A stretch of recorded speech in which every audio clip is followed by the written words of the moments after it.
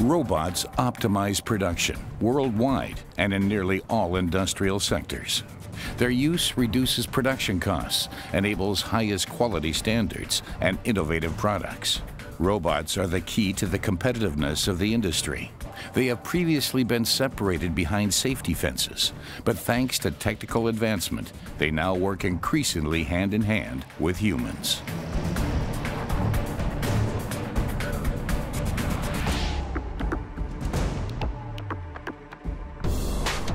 As useful little helpers, robots are also on the move outside the factory environment. They are available in all imaginable shapes, designed to carry out a wide range of tasks. Robots that perform services for humans are called service robots. In the future, they could play a role in almost every area of life. Experts expect a booming industry.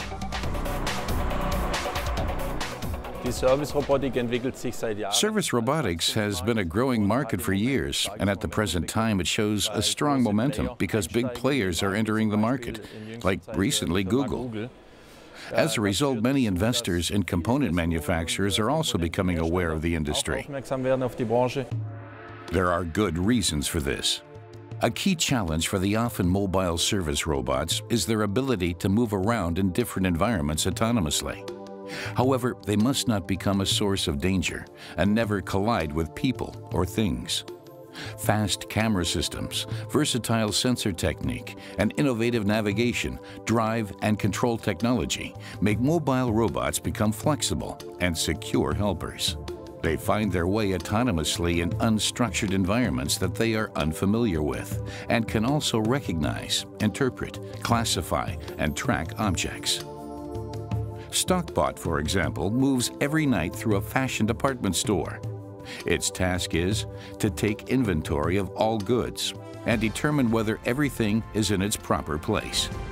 In the morning, it passes on its collected information to a person. This cleaning robot should above all move around quietly and not bother anyone. It cleans the floor, does not forget any area, and organizes its work nearly independently. Its colleague, however, has to find its own way in a hospital and transport cabinets. When called, it transports them from one place to another. The challenges here are completely different.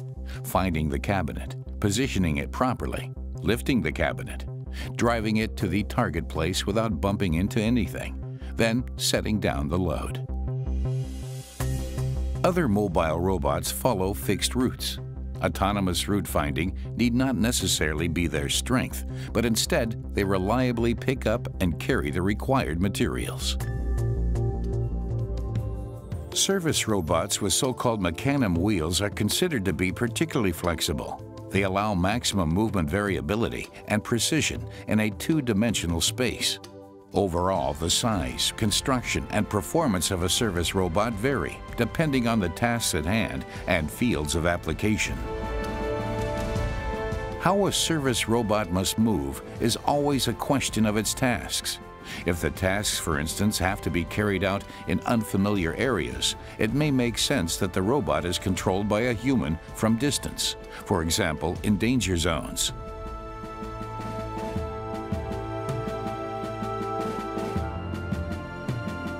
In the air, a service robot could even serve as human eyes. Technical conditions like a safe human-robot collaboration or autonomously navigating vehicles contributed to the breakthrough of service robotics. With this, also considering the economic aspects, new reasonably priced solutions in logistics, entertainment, and medical technology can be realized. Another important innovation for the industry is the so-called lightweight robots. By reduction of weight, the variability in mobility has increased as well as the variety of applications. Carbon fibers or high-tech plastics are used so that overall energy consumption could be significantly reduced. Lightweight er robotics has the advantage that it, of course, allows the robot to carry out tasks that perhaps have not yet been possible in industrial robotics, such as building, cleaning, intralogistics, or inspection applications and repairs. And for these applications, it is absolutely necessary to have a weight reduction. Gewichtsreduzierung zu haben. In principle, there are no limits to service robotics. Thanks to state-of-the-art technology, innovative sensor technique, fast camera systems, and image processing, service robots can perceive their environment, meaning see, hear, and feel it. They can even feel out surfaces and analyze odors.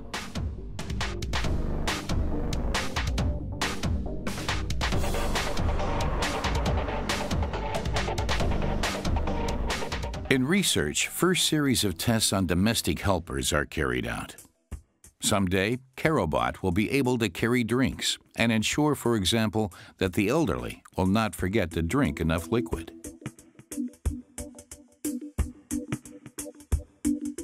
Hallo, ich bin Care-O-bot 3. In dieser Woche unterstütze ich die Pflegekräfte bei ihrer Arbeit. Frau Ebner, Ja, Sie du- möchten doch bestimmt etwas trinken. Ja, so. Ein Schluck Wasser kann doch nicht schaden. Ja, da hast du recht. Prost nach Prost. Na denn, Prost! Oh, schon Leben. On request, the service robot could also carry medication. In case Care-O-bot is not quite sure what to do because it cannot clearly identify an object, it would involve people from the telephone switchboard who would take a look at the object in question via the integrated camera and make the right decision. Also, in case of falls, Care-O-bot could analyze the situation and organize help. Ich kann mich nicht drehen. Ich hab, ohne Hilfe geht's nicht. Hallo! The service robot could explain the function of the blood pressure gauge to people without ever losing patience. It could even forward the measurement results to a laboratory for analysis that could react immediately in case of emergency and send human help. The medical sector is already one of the major fields of application for service robotics. Here, precision and reliability are particularly important. In Wiener Neustadt, one of the most modern centers worldwide for ion therapy is being built. Up to 1,400 cancer patients are treated here annually. For the precise radiation of the tumor, a ceiling-mounted robot is used. Originally, this robot was used in the industrial sector. The patient positioning system developed by BEC aligns the patient with maximum accuracy. With this, treatment of tumors with the accuracy rate of a sub-millimeter became possible. The robotic patient positioning system has seven degrees of freedom, and for the first time, that enables us to really make optimal use of the advantages of ion therapy. One of the advantages is the high level of precision for applying radiation to the tumor. A high precision positioning of the patient is necessary, and this is achieved by the system for the first time. In the background of the therapy, gigantic apparatuses are at work that have been developed in the European Organization for Nuclear Research to accelerate particles.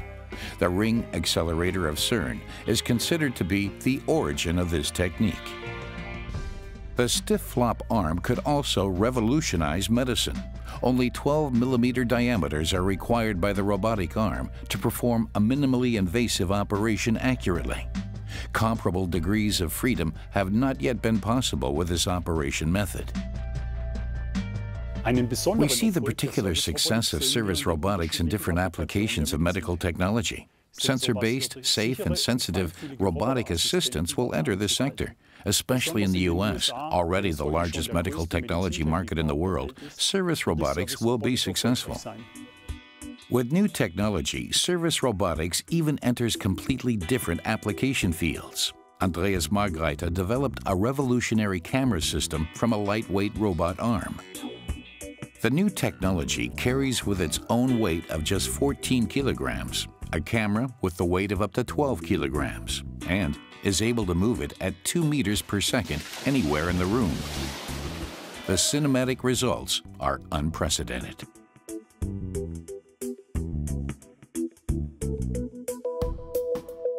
Uh, the camera system that we developed is based on a seven axis system. And one of the really important features is that you can make it a manual recording. That means you can activate the robot, you can move the camera freely throughout the room, and you can also record the whole thing, meaning you give it a starting point and you record it. Startpunkt und ich zeichne das auf.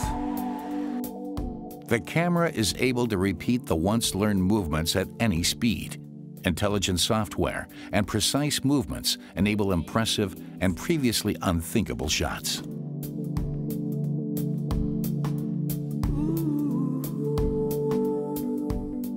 The development of the robotics arm made this possible. It has seven axes, torque sensors, and therefore feels the movements that impact on it.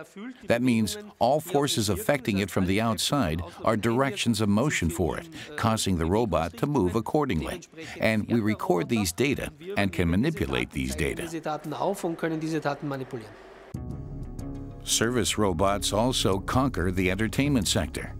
They allow for carousel rides or virtual skiing without any risk of injury, sunburn, or cold feet. Even professionals are enthusiastic. Of course, you can also play against a robot. There is hardly a form that a service robot can't adopt. The exact movement of the puck is calculated by a camera and software in advance. But there are also applications that invisibly influence our everyday life up to now. In cowsheds, mobile robots have been in use for years. They help in feeding the animals and in the stable. So-called milking robots take care of the gentle and effective extraction of the milk. Brushes massage the teats of the cow, and scanners measure the udders so that the suction cups can be placed precisely and carefully. Many applications for service robots are already widespread. Others exist as prototypes. Research and tests are conducted, and new areas of application are discovered. It's merely a matter of time before ideas of today appear in our daily life.